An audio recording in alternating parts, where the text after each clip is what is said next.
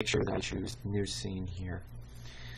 Uh, right now I'm going to hit shift up and what that will do in our timeline it brings us to frame 250 uh, and that's great because uh, that's where the first part of this is going to be our scene. We're going to import our scene uh, but I'm going to import it in just a little bit. First thing I'm going to do is I'm going to hit space and add a movie. I'm going to go to where I have my movie clips that I took this weekend uh, saved, and I'm going to start importing them.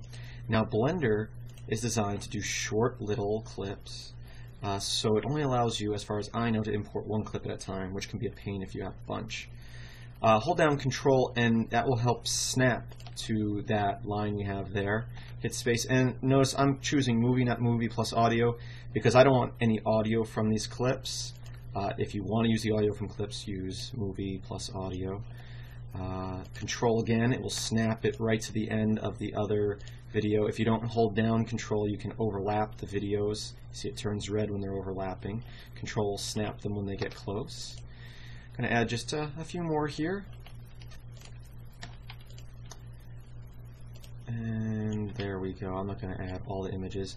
At this point, uh, what we're going to do is we're going to change our project length to the length of our video here. I'm going to go a little bit further out from the video because I'm going to have the audio go a little bit longer. But you can see we're at frame 839, so let's change this to 839 and hit enter.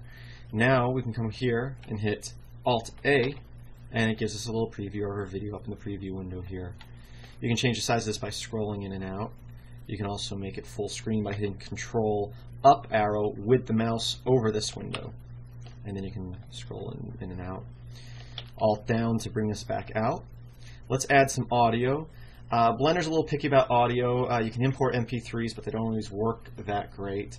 Uh, so what I'm going to do here is I'm going to go over here to my command prompt. I'm in the folder with my music files, and I'm going to hit ffmpeg dash I for input file, and I'm going to type 10 because track 10 is the one I want. I'm going to hit tab, and it auto completes.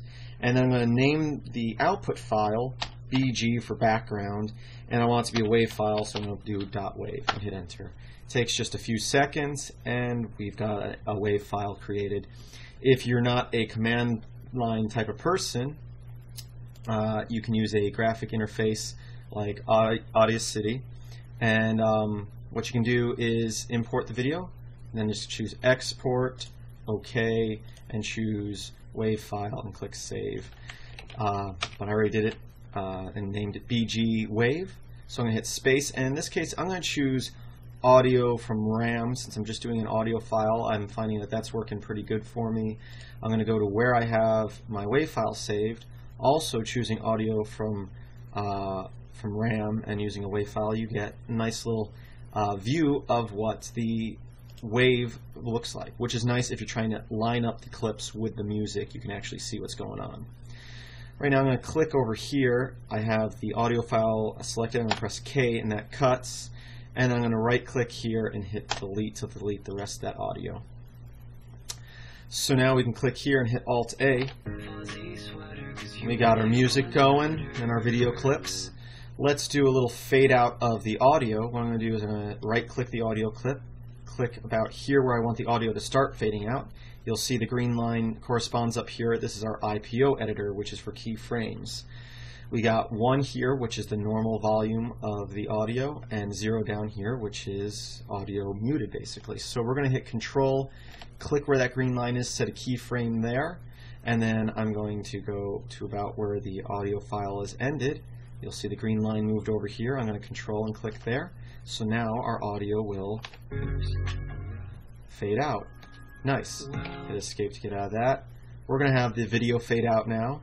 So uh, right click up here because if you have the audio file selected it will tell you you can't add a color generator when you have audio selected.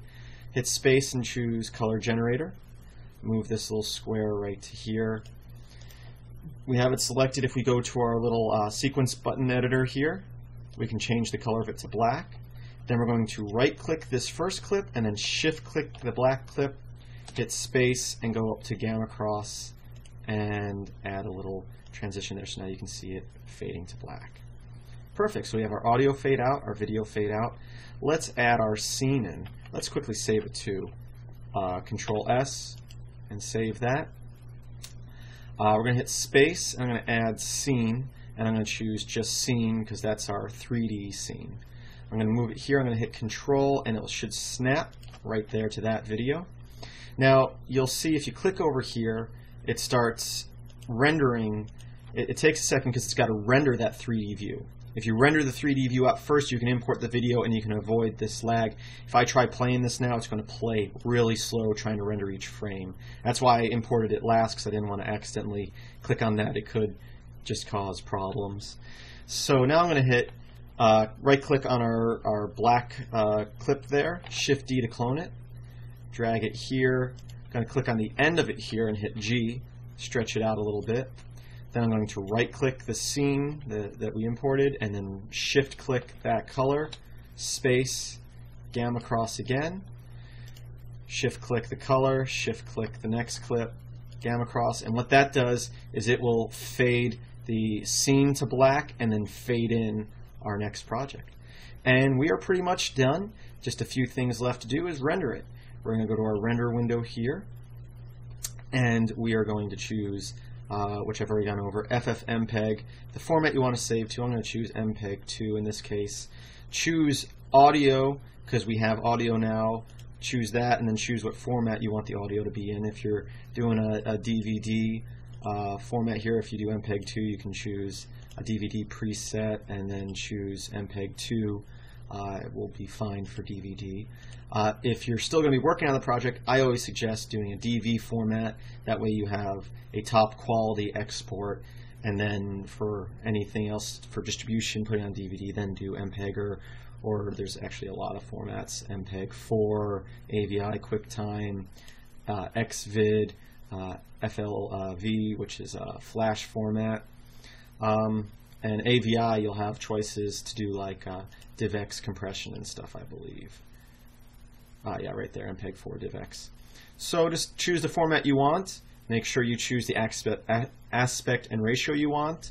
And uh, then the most important part is don't forget to click Do Sequence. Otherwise, it won't render the sequence, it will only render the 3D view, which is actually empty in this scene. So click that name, choose where you want to save it and name it over here. You can click this to choose the folder you want to save it in. And then click animate. And it'll animate from frame 1 to 839, which 839 is right out here where our audio of our video ends. So that's how you do this short little clip in Blender. Uh, I hope you enjoyed this. Hope you learned something.